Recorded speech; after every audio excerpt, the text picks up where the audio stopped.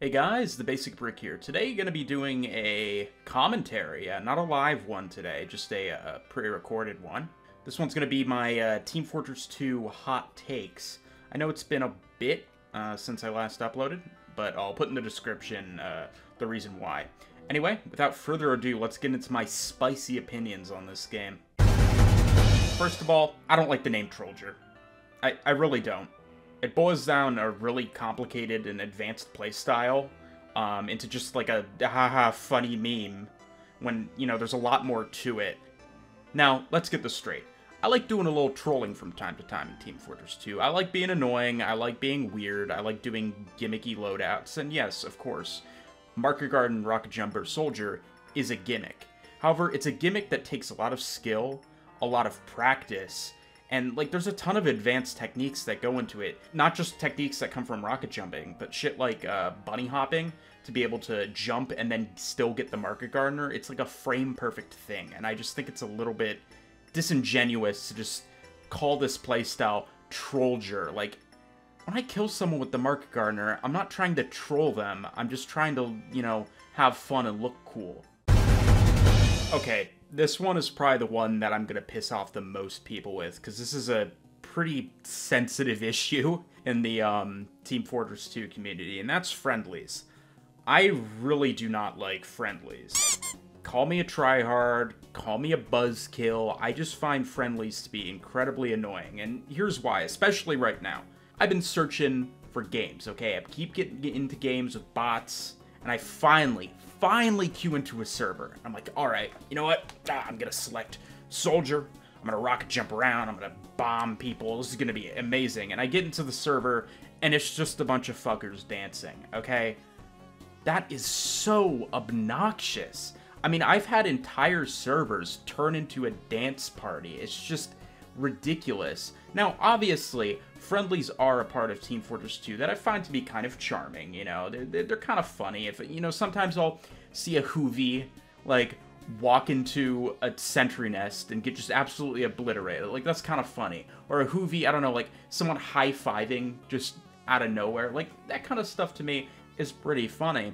However, when the entire server turns friendly, or when there's a bunch of friendlies on each team, it can really just slow down a game, and at that point, you're basically wasting server slots. Especially when there's servers that exist that are entirely dedicated just to being friendly, messing around, and, you know, having fun, chatting with people, just having a good time, and I feel like people should be going to those servers instead of taking casual matches, turning them into dance parties.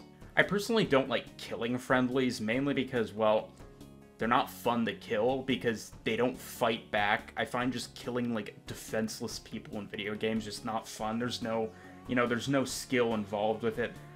Even like killing a brainless like person who just installed the game, like even that has a little more high stakes than, you know, killing a Gibus heavy who's throwing sandwiches at people.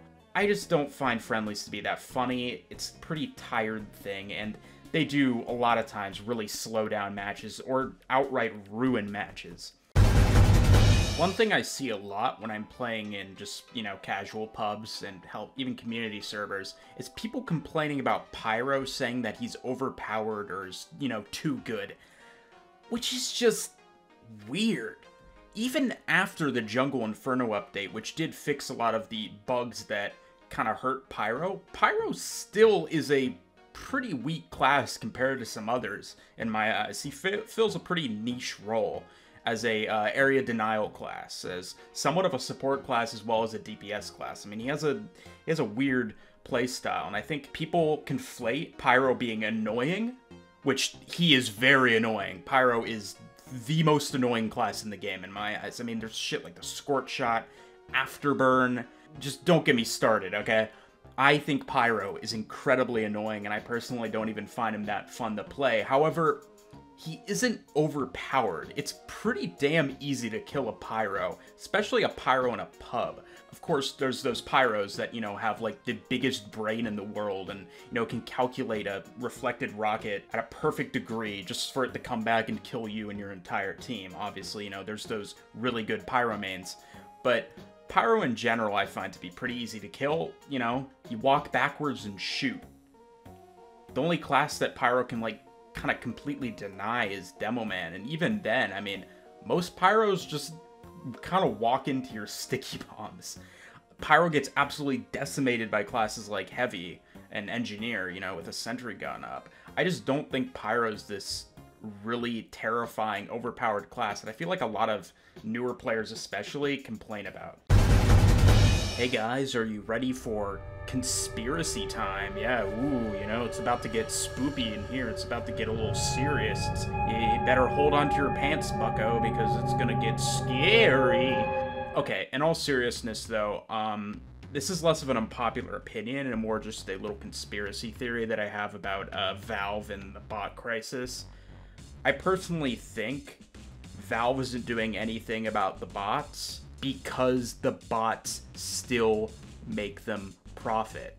Okay, so let's take some of the most prolific bots, at least that are on um, American servers, the Waffen SS bots, you know, the ones that are most likely created by some cryptocurrency 16 year old who plays Hearts of Iron 4 in his free time. These bots actually buy hats from the Team Fortress 2 store so that they can get uh, a pay to play account and use uh, text chat and just fill it up. Think. I mean, you really got to think about this. The only anti bot thing that Valve added, which, geez, almost happened a year ago at this point, was making it so if you don't pay for the game, you can't talk. That was the only fix they did. There's nothing. They have done nothing else. And I really do think that they aren't doing anything because they're still making money. Not only are bots sometimes paying for shit from the store, but also people like hell, even me, are still, you know, trading weapons, still getting stuff from the market from time to time. Valve is still making a profit off of Team Fortress 2, so they have no reason to update the game. They have no reason to find a way to stop these bots, even though these bots are open source projects. You can go online and look at what's going on. Valve could easily fix this issue, but they're not. And I really do think it comes down to one, laziness, and two, the fact that they're still making money. They're still making bank. There's no reason for them to stop.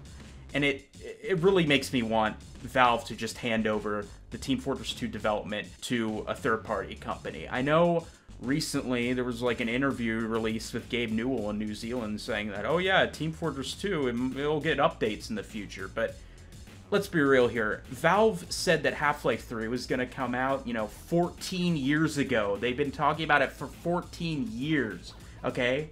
That's when they announced that, you know, Half-Life 3 was going to be a thing. Episode 3 was going to be a thing. Valve constantly goes back on their promises. So I'm just I am very negative when it comes to Valve at, at this current time. I know this might be a bit of a, you know, Debbie Downer thing, but man, I, I really do think Valve is letting this bot crisis happen because, again, they're not losing money from it. Alright, after that depressing, sad little conspiracy theory that I had, I, I, wanna I wanna lighten the mood a little bit. You guys can see me get very angry about a change that happened three years ago, basically over three years ago now, uh, and that is the panic attack change. Now, the old panic attack uh, not the panic attack that when it first came out. When it first came out, it was pretty much unusable, you know. But after it got a few buffs to make it so, you know, it actually was a usable weapon, it was my favorite weapon in the game. It surpassed the Market Gardener as my favorite unlockable weapon in Team Fortress 2. I- am being serious here. A professional kill streak panic attack was like the first professional kill streak weapon I decided to get because I loved it so much. It was a beggar's bazooka shotgun. It was the goofiest thing ever. No other video game had a weapon like this. And it really made you be able to do a bunch of crazy alternate playstyles, like as the Pyro. Uh, it was a cool alternate. If you want to play Fat Scout, you can uh, turn around a corner and just unload four rapid fire shotgun blasts into, I don't know, a sniper's face. it was so much fun. Yeah, it wasn't as good as the stock shotgun. Yeah, it wasn't, you know, better than the Rescue Ranger on Engineer, but it was a really, really fun and unique weapon that, in my eyes, kind of embodied Team Fortress 2 in the way where it was just unusual, it was weird, it was very creative, but it was also very fun. And then Jungle Inferno came around, and I mean, yeah, the panic attack's technically better now. It's technically even better than the stock shotgun when playing on servers without fixed weapon spread. I mean, it's it's a good weapon. Aha. Uh-huh. oh, I am I am very angry about this change. Yeah, I know it's a better weapon now. Yeah, I know it was probably better for the game, but come on, Valve. You couldn't have just, I don't know, made the reserve shooter the modern panic attack, you know? It was already a stat swap. You could have given it to Heavy and Engineer and just gave it the panic attack stats. I mean, you kind of killed it on Pyro anyway. Nobody uses a reserve shooter anymore, so... Oh, man. I'm gonna miss the whole panic attack. I'm gonna miss my child. They massacred my boy. Valve, damn you. Alright, this is gonna be a quicker spot, but it's uh, basically a pretty big and uh, pretty widespread opinion in the Team Fortress 2 community that Sniper needs a nerf. Sniper's too powerful, he's too good, a good player sniper can shut down a server, and to an extent, I agree with that. However, a lot of the community's fixes to Sniper punish everybody playing Sniper. For instance, uh, I think it was creators.tf in their balance uh, changed mode or something like that. I could be completely wrong. They made it so Sniper did 140 damage with a quick scope headshot, and, you know, so you couldn't insta-kill medics. And there's other ideas like, oh, give him less ammo so he has to relocate. Even though Sniper already has to relocate a bunch of times. If you stand in the same place as Sniper, you are going to die because people are going to notice you after, I don't know, a couple headshots and you're going to die, okay? I personally think, um, and I'm this isn't a unique opinion of mine, that Sniper should just have a nerf to instant quick scoping. Sniper can quick scope in under like he can quickscope so fast that nobody can react to it, and that's really the issue. Is it doesn't give other players going against the sniper a chance to react. Uh, Zesty Jesus, uh, another Team Fortress 2 YouTuber, made a great video on this. I'll link it in the description. He's a much bigger YouTuber than me, obviously, but uh, pretty much sums up my opinion on sniper nerfs. Now, this subject, this opinion of mine, is probably my most heated one like even more heated than some of the other ones and that's why i'm gonna actually in the future make a separate video about it. Yeah i really really hate weapon skins and the whole tiered item system that was brought over from csgo i think it ruined uh, team fortress 2's uh, cosmetic system completely. It's a mess now. I think i think war paints and all that shit the fact that they can be applied to unlockable weapons can make it hard to distinguish what weapon's what from a far distance. Like, I don't know if that's a squirt shot or a, you know, flare gun, or is that, you know, like, what shotgun is that? Is that a panic attack? You know, like, at like a, a long distance, it can really obscure stuff. I think it is incredibly gaudy, and this is coming from someone who loves Australian weapons. A lot of the skins just look like utter shit um, like Counter Strike skins aren't like my biggest thing in the world, but I, in that game, I'll say there's some good looking skins. In Team Fortress 2, there are barely any good looking skins. They just really don't meld well with the game. Uh, I'll, you know, I'll get into this in a separate video, but I just really fucking hate weapon skins and tiered hats and the whole case system, okay? TF2 is not a case game. It's a crate game. I will die on this hill. I actually genuinely don't know how controversial this one is, mainly because I know a lot of people who just hate Spy, like, really hate Spy. I'm personally in between. Spy can be really annoying, but I find him very fun to play, especially on, like, certain maps that there's a lot of places to, you know, hide around. Anyway, that's besides the point. I personally think Spy needs a buff. Spy, over the years, I think has got progressively worse, um, not just due to weapon nerfs and, you know, that is one of the things. But just the fact that I feel like over the years people have gotten more and more aware of spies tricks. This the one flaw with this class really is that disguises a lot of the time they don't fool people. Sometimes they do, but a lot of the time they don't, and there's kind of a way, you know, to get up to a sentry without getting killed by it. I personally think Spy is being bullied by Valve and has been bullied by Valve. Uh, a lot of weapons have been added that just completely nullify him. Stuff like the Power Jack, or not the Power Jack, the uh, Home Wrecker, which, like, come on, man. I know Pyro's like a cool subclass, but Pyro's already so good at countering Spy. You give him a weapon that makes it so his zappers are just basically useless. Yeah, I, I personally think Spy needs a buff. One of the big things is that the Ambassador should be reverted back to its uh, pre-Jungle Inferno self. The Ambassador nerf was, I think, one of the worst nerfs in the entire game. Um, it took a weapon that was really fun to use, that took a lot of skill to use. It was a pistol that could do headshots, you know, a lot more skill to use the Ambassador than the Sniper Rifle. And this is coming from someone whose second most played class is Sniper, okay? And Spy is not even close to my most played class. They kept the Diamondback too, which I think just adds insult to injury with that weapon not having damage fall off on its criticals and just getting criticals from backstabs. That's the only thing I think Spy should have nerfed at this current time is the Diamondback.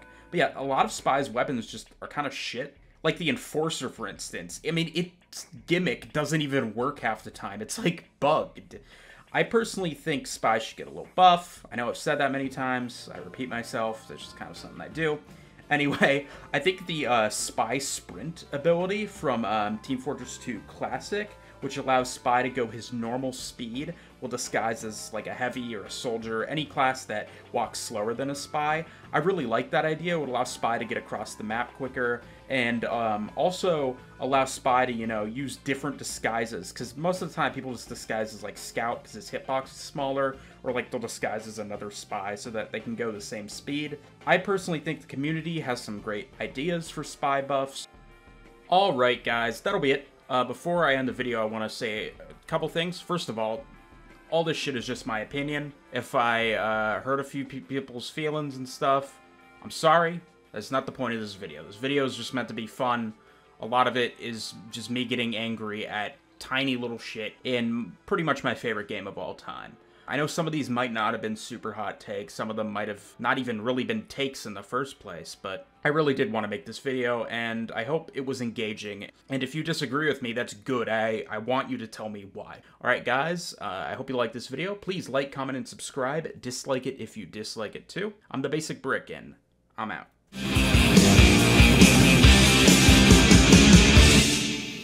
Have a nice day.